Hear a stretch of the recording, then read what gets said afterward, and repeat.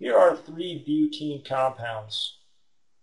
All three are alkenes because they have at least one double bond in the compound. The first compound, butene, is a constitutional isomer of the second two, uh, the two butenes. The cis and the trans 2-butene together are stereoisomers of one another because their connectivity is the same. Notice the double bond is right in the middle of the compound. It's just that the way the atoms are oriented in space are different. Therefore, they are called stereoisomers. They are not constitutional isomers.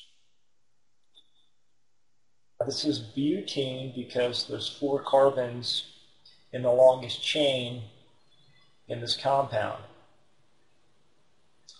Uh, this is called 1-butene because the double bond starts at the 1 carbon, number 1. 1, 2, 3, 4.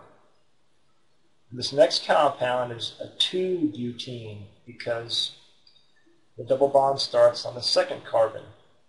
Likewise with this third compound, this is also a 2-butene because the double bond starts on the number 2 carbon.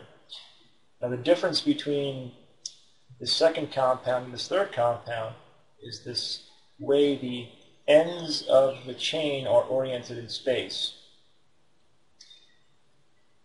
When you have two ends of a chain that can be above or below the double bond, double bond is here,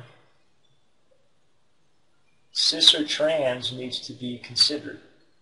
When the two ends of the chain are on the same side of the double bond, it's called cis.